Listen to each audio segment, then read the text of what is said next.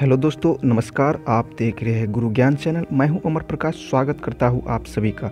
दोस्तों, आज की इस वीडियो में मैं आपको बताऊँगा कि कैसे आप अपने मोबाइल को बिल्कुल लैपटॉप या कंप्यूटर की तरह यूज़ करेंगे। मतलब जैसे लैपटॉप और कंप्यूटर का इंटरफेस रहता है, ठीक उसी प्रकार का इंटरफेस आपके मोबाइल का भी रहेगा। मान लीजिए कोई लैपटॉप में यूट्यूब को ओपन करते हैं तो जो इंटरफेस आपको लैपटॉप या कंप्यूटर में देखने को मिलता था, ठीक उसी प्रकार का इंटरफेस आपको मोबाइल पर भी आपको देखने को मिलेगा।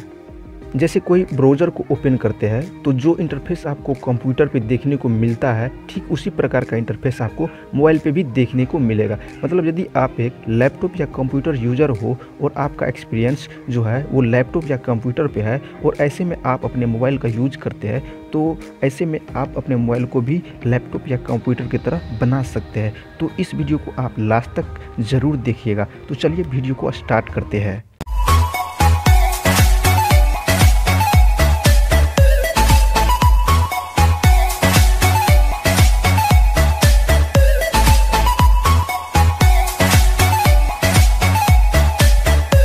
सबसे पहले आपको एक एप्लीकेशन को अपने मोबाइल में इंस्टॉल करना है, जिसका नाम है Leena desktop you I multi window ये सात से आठ एम का एक छोटा सा एप्लीकेशन है।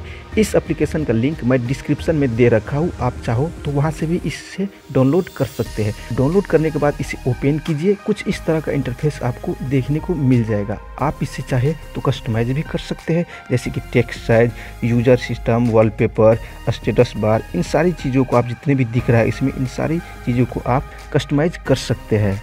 इसके बाद सबसे नीचे में कुछ एप्लीकेशन दिया हुआ है, जो लीना लॉन्चर के तरफ़ से आता है। जैसे कि फेसबुक हुआ यूट्यूब हुआ ब्राउज़र हुआ फ़ाइल मैनेजर हुआ ट्विटर हुआ गूगल हुआ गूगल ड्राइव हुआ ड्रॉप बॉक्स हुआ, और भी ये सब जितने भी दिख रहा है, वो सब।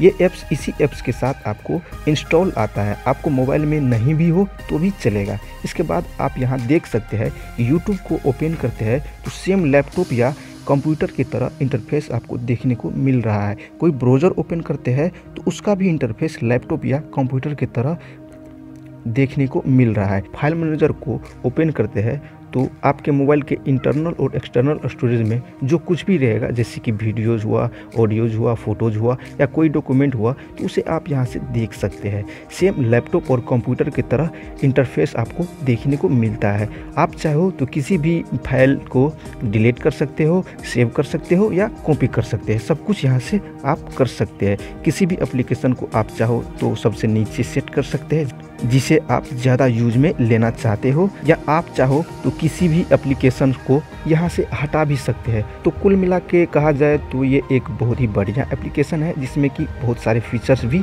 दिया हुआ है। आप इस एप्लीकेशन के मदद से चाहे तो मोबाइल में फुल स्क्रीन में स्क्रीन रिकॉर्ड भी कर सकते हैं। यदि आपको फुल स्क्रीन रिकॉर्डर की आवश्यकता हो तो। आशा करता हूँ दोस्तों, आपको इस वीडियो में काफ़ी कुछ नए सीखने को मिले होंगे और कुछ आप पहले से भी जानते होंगे। दोस्तों, एक प्यारा सा रिक्वेस्ट है। यदि वीडियो आपको पसंद आया है तो प्लीज़ मेरे वीडियो को लाइक कर दीजिए और कमेंट करके बताइए कि वीडियो कैसा था। और यदि वीडियो को समझने में कोई दिक्कत हुआ हो तो इसके लिए आप हमें कमेंट बॉक्स में कमेंट करके बताइए। दोस्तों, यदि आप मेरे चैनल को पहले से ही सब्सक्राइब करके रखें तो इसके लिए आपका बहुत बहुत धन्यवाद। यदि मेरे चैनल को आप अभी तक सब्सक्राइब नहीं किए तो प्लीज़ मेरे चैनल को भी आप सब्सक्राइब कर लीजिए और पास में बनी बेल आइकन को भी आप प्रेस कर लीजिए, ताकि जब भी हम कोई वीडियो अपलोड करूँ तो इसकी जानकारी आपको मिलती रहे। आपका बहुत बहुत धन्यवाद। तो आज के लिए इतना ही, दोस्तों। तब तक के लिए बाय